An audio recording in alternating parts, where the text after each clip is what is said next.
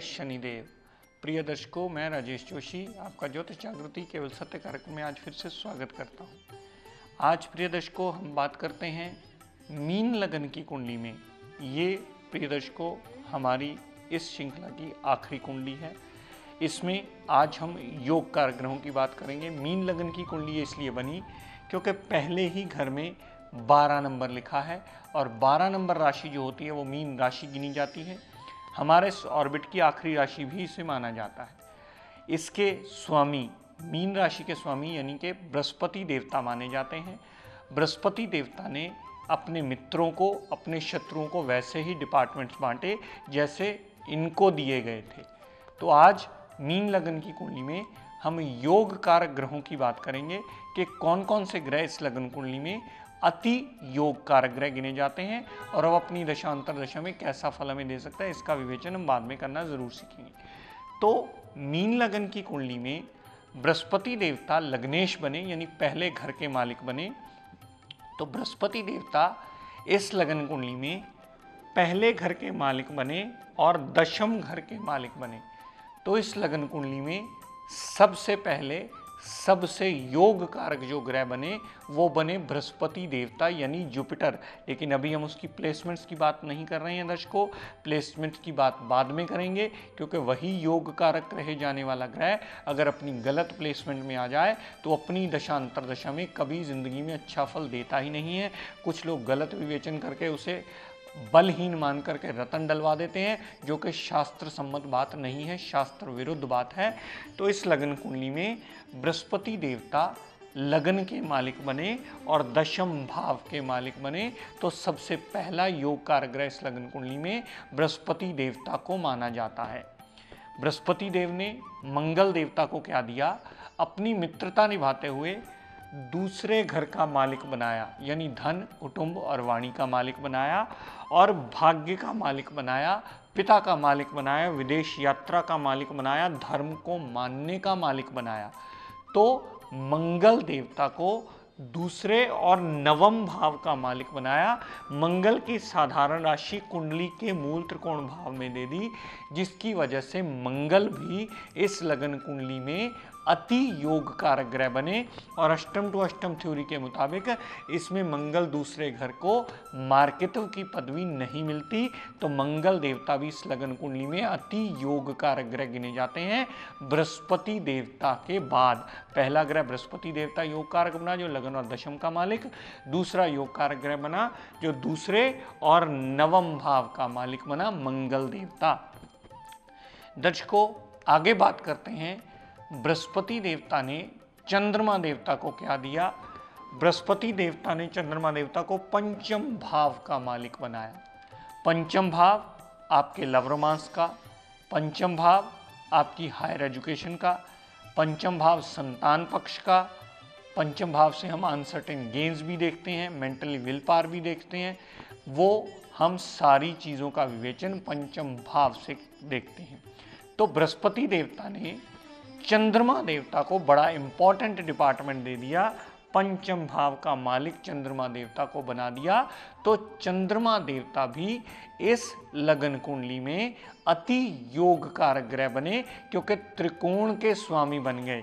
एक, पाँच, नौ, जो कुंडली का त्रिकोण भाव होता है तो पंचम भाव जो त्रिकोण में आता है, उसके स्वामी चंद्रमा देवता को दे दिया डिपार्टमेंट चंद्रमा देवता पंचम भाव के मालिक होने की वजह से तीसरे योग कारग्रह इस लगन कुंडली में चंद्रमा देवता बने। पहला योग कारग्रह बने बृहस्पति देवता, जो लगन और दशम के मालिक हैं। दूसरे योग कारक ग्रह बने मंगल देवता जो दूसरे और नवम भाव के मालिक हैं, और मंगल देवता को कदापि भी इस लगन कुंडली में मारक ग्रह समझने की गलती मत कीजिएगा, क्योंकि कुछ लोग जब आके हमसे डिस्कशन करते हैं तो वो कहते हैं, जी, दूसरे घर का मालिक मंगल है, दूसरा घर तो हमने मारक पढ़ा है। लेकिन वो हर कुंडली टू कुंडली वेरिएबल होता है, ये एक ही फॉर्मूला हर जगह नहीं चलता।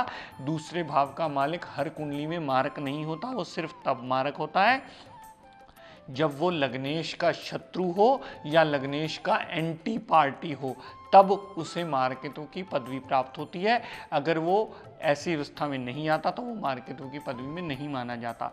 तो तीसरा कारक ग्रह बना चंद्रमा देवता। तो चंद्रमा देवता भी इस लगन कुंडली में पंचम भाव के मालिक होने की वजह से अति योग कार ग्रहों में माने जाते हैं। दर्शकों, बात करते हैं बुद्ध देवता की। बृहस्पति देव ने बुद्ध देव को क्या दिया? चौथे भाव का मालिक बनाया और सातवें भाव का मालिक बनाया। चौथा भाव, माता गाड़ी, भूमि, वाहन, मकान, सारी सुख सुविधाएँ। यानी आपका सुख स्थान। अगर कुंडलियों में चौथा भाव बली हो जाए तो हम ये देखते ही कह देते हैं, जातक सारी सुख सुविधाएँ लेकर के पैदा हुआ है और वो कहीं ना कहीं सारी ज़िंदगी उसके साथ जुड़ी ही रहेंगी, क्योंकि सुख स्थान का बली होने का तात्पर्य ये होता है कि जातक को सुख सुविधाएँ मिलती अवश्य हैं। सातवां भाव, बुद्ध देवता को दिया डेली वेजेस का पार्टनरशिप का, दाम्पत्य सुख का। ये दोनों ही अच्छे डिपार्टमेंट्स बुद्ध देवता को दे दिए, लेकिन एक बात सदैव याद रखेगा दर्शकों, इस लगन कुंडली में अगर बुद्ध देव इल प्लेस्ड हो जाए, नीच हो जाए तो उसे केंद्र अधिपति दोष लग जाता है। तो पाँच भाव ऐसे हैं जिनमें बुद्ध देवता कभी इस लगन कुंडली में अच्छा फल देता ही नहीं। ये सदैव आपको बात स्मरण रखनी होगी। उन पाँचों भावों में जो मैं अभी आपको बताने जा रहा हूँ, वो नोट कर लीजिएगा। अगर बुद्ध देवता पड़े होंगे तो उन्हें केंद्राधिपति दोष लगेगा और वो अपनी दशा अंतर दशा में सदैव नेगेटिव रिज़ल्ट देंगे। लेकिन अगर उन पाँच भावों के अलावा बाकी सात भावों में पड़े होंगे बुद्ध देवता तो सदैव अपनी दशा अंतर दशा में एडवांटेज के रिज़ल्ट देंगे। इसका मतलब ये हुआ कि इस लगन कुंडली में बुद्ध देवता की प्लेसमेंट ये डिसाइड करती है कि वो अपनी दशा अंतर दशा में कैसा रिज़ल्ट देने वाले हैं। दर्शकों, अगर बुद्ध देव लगन में विराजमान हुए तो पूर्ण तक केंद्राधिपति दोष लगेगा और अपनी दशा अंतर दशा में सिवा कष्टों के वो कुछ नहीं देंगे और उनकी दशा बुद्ध देवता की दशा अंतर दशा इस कुंडली में सदैव नुकसानदेह ही होगी। यही बुद्ध देव अगर तीसरे भाव में पड़े हों प्रिय दर्शकों तो वहाँ भी उनको केंद्राधिपति दोष लगेगा और बुद्ध देवता की दशा अंतरदशा सदैव टोटली नेगेटिव रिज़ल्ट देगी और वो वहाँ गलत प्लेसमेंट होने की वजह से मारक ग्रह की पदवी में आ जाएँगे। अगर बुद्ध छठे में पड़े हों आठवें में पड़े हों बारहवें में पड़े हों तो यहाँ भी बुद्ध देवता की दशा अंतरदशा सदैव जातक का जीवन यापन अपनी दशा अंतरदशा में कष्टों से भरपूर करती हुई ही मिलेगी लेकिन दर्शकों अगर बुद्ध देव दूसरे भाव में पड़े हों बुद्धदेव चौथे भाव में पड़े हों बुद्धदेव पंचम भाव में पड़े हों बुद्धदेव सप्तम भाव में पड़े हों बुद्धदेव नवम भाव में पड़े हों बुद्धदेव दशम भाव में पड़े हों और बुद्धदेव ग्यारहवें भाव में पड़े हों अगर इन बाकी सातों भावों में बुद्ध देव विराजमान हुए तो अपनी दशा अंतर दशा में सदैव एडवांटेज देंगे। जितना उनमें डिग्री वाइज बलाबल हुआ, वो सदैव नोट करके रखेगा।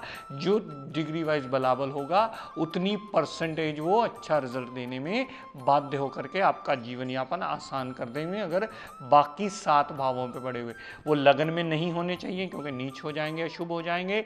वो तीसरे में नहीं होने चाहिए, क्योंकि केंद्राधिपति दोष लगेगा, वो छः आठ, बारह में नहीं होने चाहिए, क्योंकि इन पाँचों भावों में वो रिज़ल्ट टोटली नेगेटिव ही देते मिलेंगे।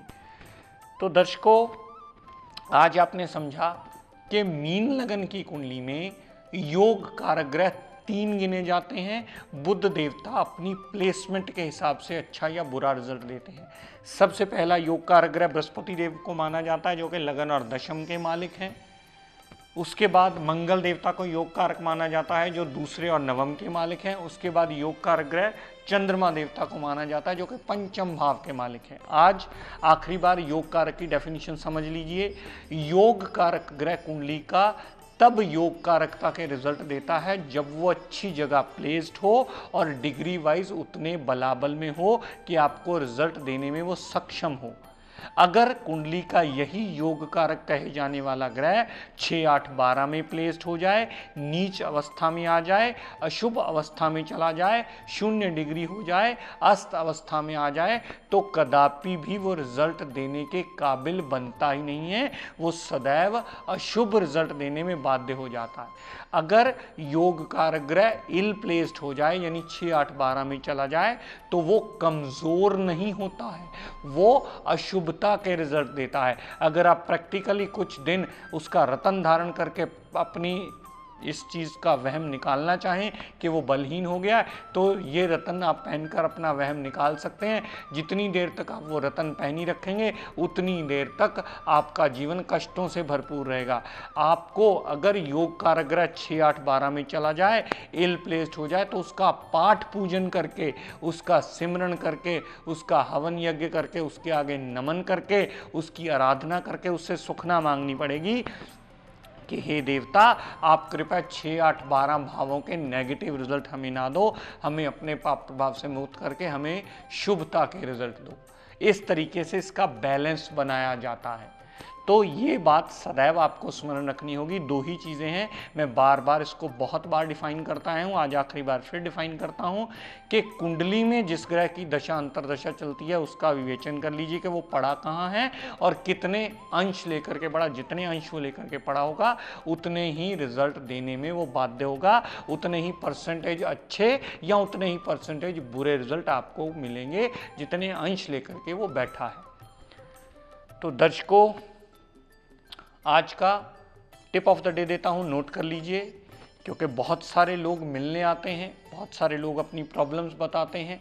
मैं बहुत सारी ऐसे लड़कियों की कुंडली देखता हूँ, जिनके विवाह में अनायास ही देरी हो गई होती है और बहुत सारी लड़कियाँ ऐसी आती हैं, जिन्हें खुद अपनी कुंडली का ज्ञान नहीं होता या उन्हें डेट टाइम का ज्ञान नहीं होता कि डेट टाइम पुराने बुज़ुर्गों ने नहीं दी या उनके पास अवेलेबल नहीं होती।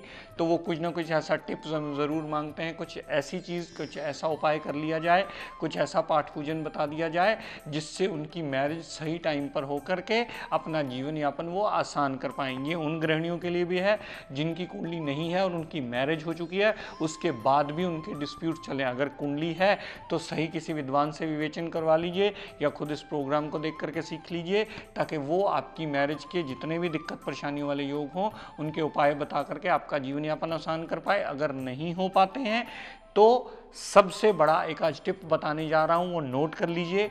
अगर आपकी मैरिज में कला कलेश मचा हुआ है, हस्बैंड से आपकी नहीं बन रही या किसी जातिका की मैरिज अनायास ही डिले हो रही है, वो ये उपाय करके जीवन में लाभ ले सकता है। अगर किसी जातिका की मैरिज एज ज़्यादा हो रही है और वो मैरिज सिरे नहीं चल रही है तो उसके पास कुंडली ना अवेलेबल हो तो वो सिंपल केले के वृक्ष को, वीरवार को सादा एक गिलास पानी, जैसे हम पौधों को एक गिलास पानी देते हैं, वीरवार को अगर सादा एक गिलास पानी केले के वृक्ष को सूरज के होते होते अगर वो दे लेते हैं तो जीवन यापन में उनका मैरिज का बहुत जल्दी योग बनता है और वो योग उन्हें लाभान्वित करता है। अगर ये कर पाएँ, अगर घर में आसपास मंदिर ना हो, आप ये केले के वृक्ष को जल ना दे पाएँ तो सिंपल ओम बृहस्पति नमक की एक माला ज़रूर रोज कर लें, जिसका भी मैरिज का डिले का योग बनता होगा, वो एडवांटेज देकर के मैरिज जल्दी करवाने में बाध्य हो जाएगा, क्योंकि लड़कियों की मैरिज का कारक बृहस्पति माना जाता है,